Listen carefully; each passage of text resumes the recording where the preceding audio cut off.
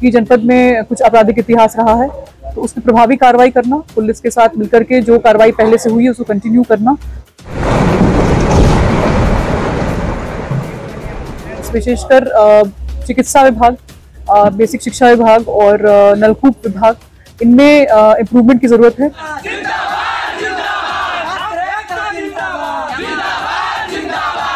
सड़कों की हालत कुछ खराब है उस पर भी हम काम करेंगे।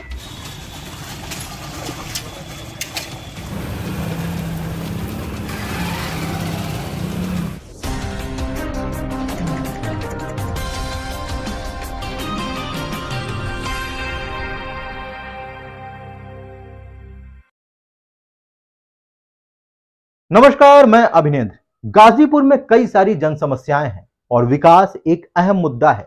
गाजीपुर के कई इलाकों की सड़कें जर्जर हैं। कई कॉलोनियों में जल निकासी की समस्या है। कई ग्रामीण क्षेत्रों में भी जल निकासी की समस्या है। कई प्राथमिक विद्यालय ऐसे हैं जहाँ जाने के लिए रास्ता तक नहीं है। तो कई स्कूल ऐसे हैं जिसका भवन जर्जर है और उस जर्जर भवन में बैठकर बच्चे पढ़ाई करते हैं।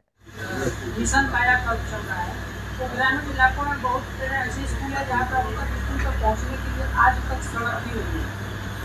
और जो मिशन है वो भी अधूरा है तो सही ढंग से उसको इसको लेकर एक में काफ़ी अच्छा काम यहाँ हुआ है। जो पैरामीटर्स कायाकल्प के कुछ पैरामीटर्स होते हैं उसको काफ़ी हद तक संतृप्त किया गया है लेकिन आपकी बात सही है कि इसमें अभी सुधार की आवश्यकता है। और कुछ पैरामीटर्स ऐसे हैं जो अभी संतृप्त नहीं हैं, जिसमें कि मोस्टली कारगुजारी और शौचालय इत्यादि संबंधित है। तो जो काम रहेगा अधूरा उसको पूरा कराएँगे। और अप्रोच रोड की जहाँ तक बात है ये बहुत ही अलग कल के पैरामीटर्स में नहीं आता, लेकिन अप्रोच किसी विद्यालय का ज़रूरी है। तो उसको भी हम लोग पिकअप करेंगे। अगर कुछ ऐसे पॉकेट्स हैं जहाँ पर ये प्रॉब्लम ज़्यादा है तो आप उसको मुझे अवगत करा सकते हैं, उस पर विशेष ध्यान दिया जाएगा। तो के, वो पकड़ के बच्चे स्कूल जाते हैं, आज भी वो मौजूद है। अवर पर जाकर पता है चाँद को वहाँ पे आज इसको रोड पर लीजिए स्कूल गाँव इसको रोड पर लीजिए अगर वहाँ पर रास्ता नहीं है तो डिब्बे करके भी रास्ता दिलाया जा सकता है।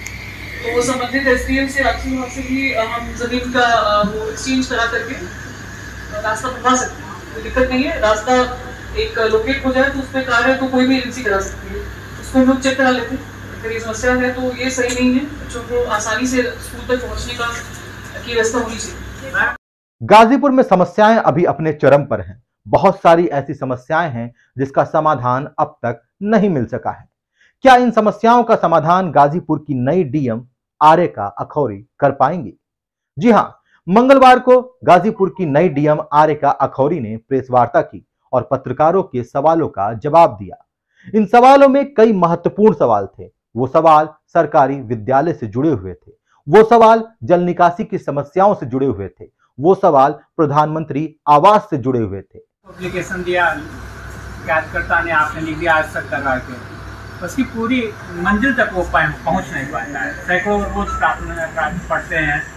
एक ही दिशा में राजस्व से ज़्यादा संबंधित होता है और उसको लाभ नहीं मिल पाता। अपने थक हार के वो बैठ जाता है। बड़ा निराश था। इससे होता है जितनी भी एप्लीकेशन आ रही हैं आखिर जो निराकरण करने वाला अधिकारी तो ग्राउंड पर इस तक तो पत्र पहुँचना ही है तो मार्क तो करके हमें भेजना ही पड़ेगा।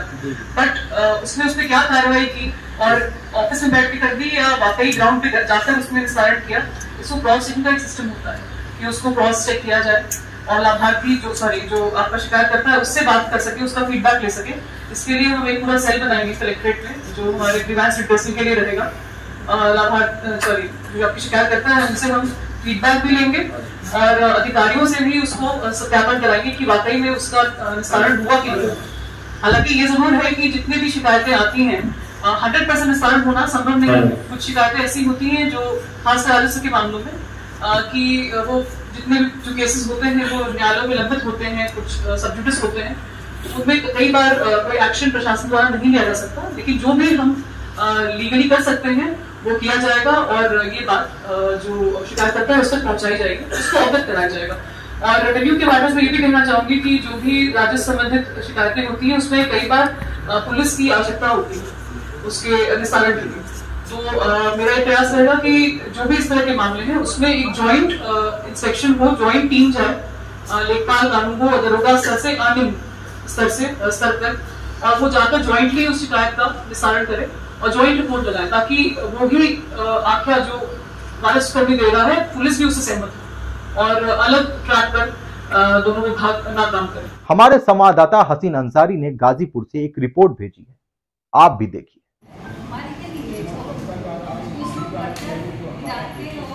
ये जिलाधिकारी आर्यका अखौरी हैं जिन्होंने जनपद में आने के साथ ही जनता दर्शन का कार्यक्रम शुरू कर दिया। सबसे पहले इन्होंने 22 शिकायतकर्ताओं की शिकायत को सुना और आश्वासन दिया कि उनकी शिकायत का निस्तारण जल्द ही हो जाएगा। साथ ही उन्होंने तमाम अधिकारियों को निर्देश भी दिया कि वह जनता दर्शन के कार्यक्रम को प्राथमिकता दें। प्रतिदिन 10 बजे से 12 बजे तक जनता दर्शन का कार्यक्रम ज़रूर रखें। गुरुवार को जिलाधिकारी ने कलेक्ट्रेट परिसर का निरीक्षण किया। वहाँ के कामकाज को देखा, अधिकारियों को कई निर्देश दिए। लेकिन कलेक्टर परिसर में दीवालों पर थूके हुए गुटके को देखकर वह नाराज़ हुई और तत्काल वहाँ पर एक नोटिस चस्पा कराया तभी उन्हें एक फरियादी मिल गई। जिनका नाम मंजू लता श्रीवास्तव है। वह सचिवालय गेट पर खड़ी थी। जिलाधिकारी ने उनकी शिकायत को सुना। उनका पेंशन अरसों से नहीं आ रहा था। जिलाधिकारी ने निर्देश दिया कि तीन दिनों के अंदर इनकी समस्या का समाधान कर दिया जाए। जिलाधिकारी ने कई समस्याओं को तो सुना लेकिन जनपद की कुछ ऐसी समस्याएँ हैं जिसको कई जिलाधिकारियों ने सुना था, लेकिन उसका निवारण आज तक नहीं हो पाया। तस्वीरों में जो सड़क आप देख रहे हैं, ये रौजा स्थित आवास विकास कॉलोनी की सड़क है। यह एकमात्र सड़क है जो उस कॉलोनी में जाती है, लेकिन इस सड़क की स्थिति अरसों से ऐसी ही है। लगातार शिकायत होती गए, लेकिन इसका निवारण नहीं हुआ। ये दूसरी तस्वीर फुल्लनपुर से गोड़ा गाँव जाने वाले सड़क की है। इस सड़क की स्थिति ऐसी है कि जब भी बारिश होती है तो यहाँ पानी लग जाता है। ये समस्याएँ जल निकासी की वजह से हैं, क्योंकि इन जगहों पर जल निकासी की समस्या है। बार बार शिकायत करने के बाद भी इस समस्या का निस्तारण आज तक नहीं हो सका। अब देखने वाली बात यह है कि जिलाधिकारी आर्यका अखौरी इन समस्याओं का समाधान कैसे करती हैं? क्या उनके आने से इन समस्याओं का समाधान हो जाएगा? लेकिन सबसे बड़ा सवाल यही था कि समस्याओं की कमी नहीं थी और उन समस्याओं के निदान के लिए सवालों की भी कमी नहीं थी। तो क्या इन समस्याओं का निदान नई डीएम आर्यका अखौरी कर पाएँगी? खैर, आर्यका अखौरी ने इन सभी समस्याओं को गंभीरता से लिया और नोट भी किया और कहा है कि वो जल्द ही इन सब पर कार्रवाई करेंगी और जन समस्या का समाधान जल्द से जल्द करेंगी। उन्होंने कहा कि हम फीडबैक भी लेंगे कि क्या जनता की समस्याओं का समाधान वाकई में हुआ है या नहीं? सबको ये संदेश है मेरा कि जनपद में जो भी आपको समस्याएँ हैं आप मुझ तक लेकर आए। चिकित्सा स्वास्थ्य के संबंध में और शिक्षा के संबंध में अ, मेरा डेफिनेटली ज़्यादा प्रायोरिटी रहेगी। और महिला सुरक्षा के लिए भी हम काम करेंगे।